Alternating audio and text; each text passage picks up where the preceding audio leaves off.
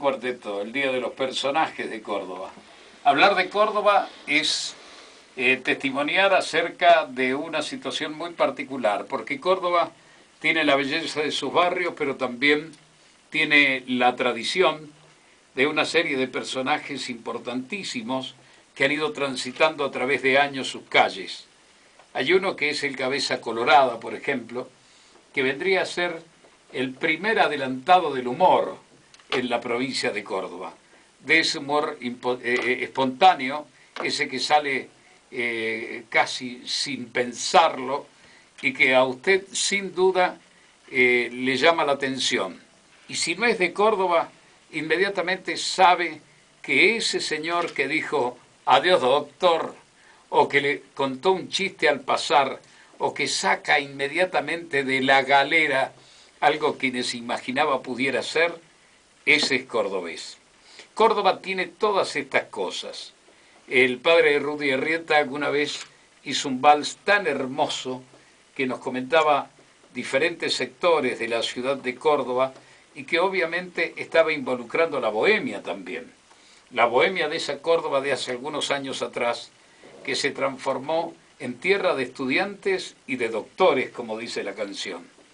Córdoba monopolizó a los estudiantes a través de el Colegio Montserrat, más tarde la universidad, y era un verdadero ícono en todo el territorio nacional. El deseo enorme de grandes hombres de nuestro país era poder estudiar en el Colegio Montserrat. Sarmiento, por ejemplo, no lo pudo hacer, pero otros sí. Nosotros leíamos los libros de Mabel Pagano que tienen que ver con la historia de Lorenza Reinafé, la hermana de los Reinafé, y que obviamente allí se menciona a cada uno de los integrantes de esta familia que después varios de ellos murieron trágicamente eh, a posteriori del asesinato de Facundo Quiroga, y están allí las cartas que envían los Reinafé a sus padres, que se encuentran en Tulumba, y era una distancia tan grande en aquel entonces desde la ciudad de Córdoba a Tulumba, cuando el norte cordobés era un verdadero emporio, y le contaban de las historias de lo que pasaba en la ciudad. Y parecía que le estuvieran escribiendo hoy desde Nueva York a Uganda, una cosa así. Y sin embargo, lo más rico de aquel entonces era el norte. Y fueron surgiendo figuras. Yo recuerdo una noche estuvimos comiendo un asado en la casa del Chango Rodríguez en la calle Chubut, pero hace muchos años atrás. Y había llevado al negro La Juana en esa oportunidad para que compartiera con nosotros la mesa. Y me preguntaba por qué el negro La Juana está aquí, por qué este señor está acá si no tiene nada que ver con el Chango Rodríguez. Y tenía mucho que ver porque el negro La Juana era espontáneo e iba sacando cosas eh, como agua de manantial y surgiendo chistes que esto hacía más amena esa reunión y esa fiesta. Y conocí al pícaro cordobés también algún día transitando por las calles de nuestra ciudad, un hombre que se nos fue, y Correa dejó muchas canciones y demás. Y hay un ícono en la República Argentina y en la provincia de Córdoba que va más allá del humorista.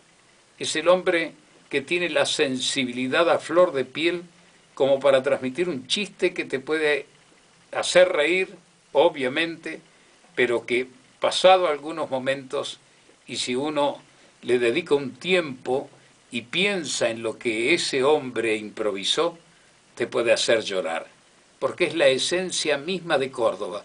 Se llama Elvio Tisera y él se colocó como seudónimo modesto tiene 79 años, ya va pisando los 80, toma solo un ómnibus y puede viajar a cualquier parte de la República Argentina.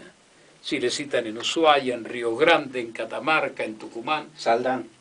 Allí está con su show y con su espectáculo. Pero de tal palo, tal astilla, porque se ha mamado, tiene un hijo, que es Jorge Tisera, es un extraordinario humorista, y que también está eh, realizando su trabajo en diferentes lugares de la Argentina y, por qué no decir, del mundo. Hace unos días me comentaba que había embarcado y que estaba brindando en uno de los famosos cruceros por el mundo, su humor, eh, varios meses, cinco meses creo que estuvo en un crucero, eh, realizando su humor, que ya lo va a comentar también. Señores, Córdoba vive un acontecimiento muy importante con el humor.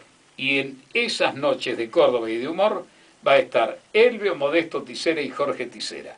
Y nuestro programa Viva la Radio quiere homenajear a Elvio Modesto Ticera. Elvio, ¿cómo te va? Buenas tardes. Muy bien, René. Muchas gracias por rogarnos para que vengamos. Este, recién hablabas de, de Nebla Juana y de Luis Fernando Correa. Vos sabés que eh, Correa empezó un poco antes que yo. Y, éramos los únicos tres humoristas que, había en Córdoba. Y te cuento que Pipo Mancera fue el, primer humorista que, que llevó a, a Circulares. Ah, sí. Claro. Y te cuento, este, un día me dice Correa, che, flaco, ¿por qué no formamos un trío? Y digo, bueno, este, ¿y qué nombre le ponemos al trío? Y a mí me nació esa morada porque el negro Correa tenía unas orejas bastante respetables, el negro Juan tenía una papada bastante, y yo narigón, y le pongamos el trío nariz, garganta y oído. Se han reído por lo menos una semana, ¿viste? Y haciendo vemos este, haciendo nuestras cosas también, haciendo reír. Y bueno, ya, ahora yo te digo, el negro de Juan, vos decías recién, pero era en los asados, el negro, en el escenario no tanto, y te tenía un poco de miedo pero los, los apodos que ponían tan justos, ¿no? Y era para, para matarse risas. Y, y, y aparte lo, lo, llevan al negro, lo contrataban también. Ahora, si me permites, sí. Eh, ¿en qué te iniciaste vos? ¿En qué actividad te iniciaste? Porque recién cometí un error fuera del micrófono y le pregunté, ¿cuándo este, ¿alguna vez trabajaste? Le pregunté, y este es un trabajo el que hace, aunque ellos no lo toman como un trabajo, ¿no? Bueno, yo este, mis comienzos fueron, te digo, mis comienzos, mis tristes comienzos. Este, yo lustraba zapatos, vendía diarios, vendía caramelos en el parque. Y una infancia muy triste, que no, no viene el caso, ¿viste? Viene el caso. viene el caso porque eso Yo nunca pensé que iba a ser humorista, por, por lo triste. ¿Qué hacían tus padres? Yo quedé huérfano de tres años y en Rodé el menor de cinco hermanos varones, el que más rodó y el que más sufrió fui yo. Los otros más o menos se acomodaron, ¿viste? Después fueron viniendo a mi casa. Tiempos difíciles, ¿no? Muy difíciles. Y ¿De qué año estamos hablando, Elvio? Y del año 44, 43, 45. ¿Y solito en la vida? Solo, solo. Bueno, ¿quién te crió con tres una Tía, una tía. Que Dios lo tenga, lo tenga porque era bastante malo. Bueno, este, bueno yo este, profesionalmente yo me ¿Cuándo empezaste a trabajar? Porque en esto. Un niño, no, no, no, un niño solo. Ah, bueno. Que no tiene la posibilidad hasta de comer, ¿no? Bueno, como te digo, este, yo ilustraba zapatos en el, en el ferrocarril central argentino, que en aquel tiempo yo tenía ocho años. Sí. Vendía pan por la calle con dos canastitos un canasto con, con pan, otro con factura. Y era tanto el hambre que yo tenía que me comía toda la factura, así que cuando iba a cobrar no tenía nada para cobrar y encima en la casa el viabón que me daba la tía. Pues te digo que muy triste, yo, bueno, a veces, sí, recordarlo es lindo, ¿no? Pero ya, ya sin, sin aquella tristeza de antes. Cuando te haces muchacho, ¿qué pasa cuando adolescente? Bueno, cuando era adolescente este, ya eh, trabajé de peletero, le enseñé el oficio, a Jorge, este, vestíamos a las damas, este, y bueno, 20 años. Perdóname, ¿cómo conociste tu primera mujer? Y bueno, este, ella es Rosarina, y yo vivía en Córdoba. Y ella vino a pasear con una amiga a la casa de otro familiar, ¿no es cierto? Y me escuchó cantar y se enamoró de mí. Ah, ¿Qué, ¿Qué más te puedo decir? Y después, este, bueno... ¿qué cantabas en ese entonces?